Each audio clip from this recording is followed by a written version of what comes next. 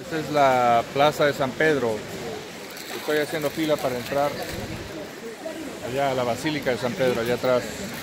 Allá es donde, ah, oh, allá es donde vive el Papa. Allá, arriba.